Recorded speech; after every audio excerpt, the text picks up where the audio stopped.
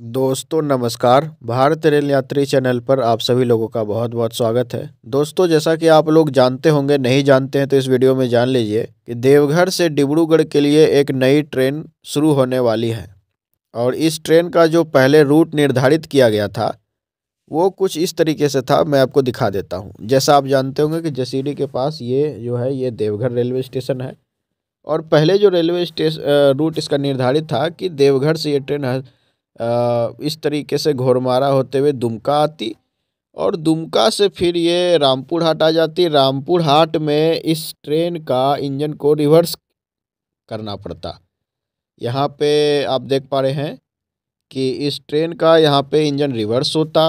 फिर engine reverse होने के बाद ये जो ट्रेन है रामपुर हाट से तीन पहाड़ और फिर आ, तीन पहाड़ नहीं मतलब कि यहाँ पर से ही पाकुड़ पाकुड़ के पास से जो बोनी डंगा लिंक केविन है, जानते होंगे, पाकुड़ से बोनी डंगा लिंक केविन होते हुए न्यू फड़क्का होते हुए।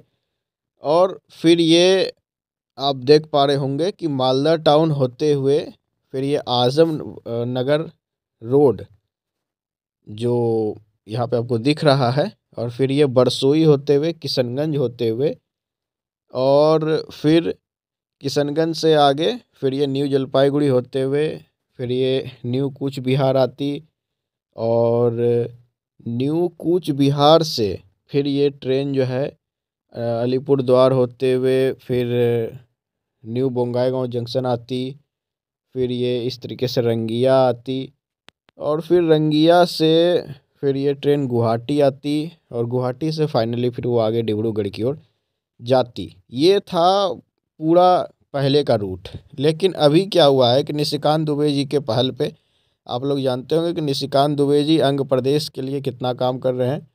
अब ये ट्रेन मोहनपुर से घूम करके हंसडीहा आ जाएगी। अब दुमका नहीं जाएगी ये। दुमका, रामपुर, हाट, मालदा, ये सब जो क्षेत्र थे, इनसे इन, इस ट्रेन को छीन लिया गया है।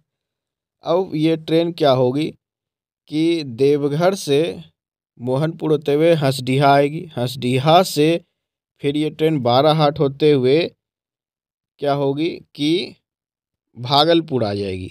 बारह हाट होते हुए भागलपुर आएगी। भागलपुर से फिर आ, ये ट्रेन जो है बरियारपुर होते हुए फिर ये मुंगेर आ जाएगी जमालपुर वाई लिंक केबिन से। और फिर सबदलपुर होते हुए वाई लिंक केबिन से फिर उमेश नगर होते हुए खगड़िया आ जाएगी। और फिर खगड़िया से जो ये रेल लाइन है, खगड़िया से होते हुए कटिहार आएगी और कटिहार से फिर ये बरसोई होते हुए फिर अपना रूट पकड़ लेगी जो पहले था। मतलब कि बरसोई से लेकर के रामपुर हाट जो पहले इस तरीके से आ रही थी, वो नहीं होगा। तो आप ये जान लीजिए कि मोहनपुर से लेकर के बरसोई तक का पूरा रूट ही चेंज हो गया। जो पहले मोहनपुर से जो ट्रेन इधर आ जा रही थी, वो मोहनपुर से इधर आएगी। बरसोई से आगे और मोहनपुर से पहले का रूट सेम रहेगा। तो कहीं ना कहीं अंग प्रदेश के क्षेत्र के लिए ये बहुत अच्छा साबित तो आप लोग जानते होंगे कि जो खगड़िया है, मुंगेर है, भागलपुर है, बांका है, देवघर है, अपना कटिहार है नौगछिया है। ये सारा का सारा क्षेत्र जो है अंग प्रदेश का क्षेत्र है। यहाँ पे अंगिका भाषा बोली जाती है। पूर्णिया भी है, मधेपुरा भी है। लेकिन कि क्या है कि पूर्णिया ये ट्रेन नहीं जाएगी, मैंने वैसे आपको बता दिया। अब बरसोई से होते हुए फिर वो फाइनली उधर चली जाएगी। तो जो अपडेट है वो मैं आपको अब बताता हूँ। दोस्तों, यहाँ पे आप देख पा रहे होंगे, लिखा है रूट में बदलाव। अब भागलपुर मुंगेर होकर चलेगी देवघर से डिब्रूगढ़ ट्रेन। और जो इसका नया मार्ग है वो आप यहाँ पे देख पा रहे होंगे, देवघर, मोहनपुर हसडिया मंदार हिल, सुल्तानगंज, भागलपुर, बरियारपुर, मुंगेर, खगड़िया, कटिहार, बरसोई, किशनगंज, न्यू जलपाईगुड़ी। बरसोई से फाइनली तो मतलब कि रूट वही रहेगा, बरसोई से लेकर के आगे। तो आइए देखते हैं कि इस अपडेट में क्या लिखा हुआ है। यहाँ पे दोस्तों लिखा हुआ है, आप देख पा रहे होंगे, इस माह से शुरू होने वाले देवघर से मतलब यही जनवरी की बात हो रही है। डिब्रूगढ़ ट्रेन के रूट में बदलाव हो गया है। पहले इस ट्रेन के परिचालन को मंजूरी देवघर से दुमका, पाकुड़ व मालदा होते हुए थी, जिसमें रेलवे ने बदलाव कर अब मोहनपुर, हंसडीहा, भागलपुर, मुंगेर व कटिहार रूट कर दिया है। अब यह ट्रेन रामपुर हाट, पाकुड़ व मालदा नहीं जाएगी।